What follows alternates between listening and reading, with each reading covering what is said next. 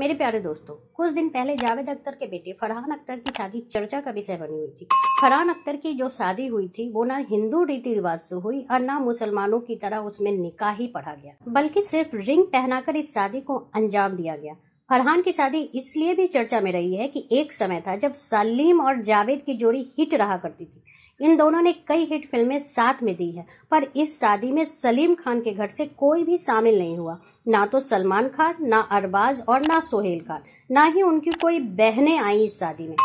पर मलाइका अरोरा, जो कभी अरबाज खान की पत्नी रह चुकी हैं और अब अर्जुन कपूर से उनकी अफेयर की खबरें हैं, इस शादी में ज़रूर पहुँची। कभी सलमान फैमिली का हिस्सा रही मलाइका, अब सलमान फैमिली के विरुद्ध जाने से भी परहेज नहीं करती।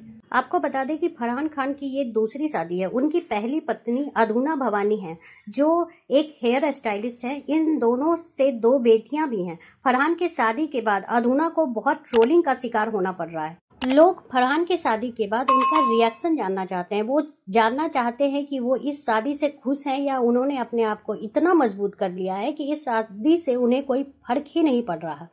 फरहान और अधूना की शादी 16 साल तक चली।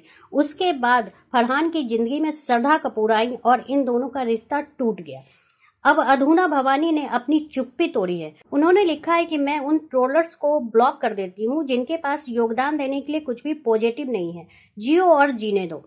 कहा तो ये भी जा रहा है कि फरहान को शिवानी डांडेकर से शादी मजबूरी में करनी पड़ी है। वो इसलिए कि शादी की जो पिक्चरें आई हैं, उनमें वो प्रेग्नेंट नज़र आ रही हैं। यह मीडिया में चर्चा का विषय बना हुआ है।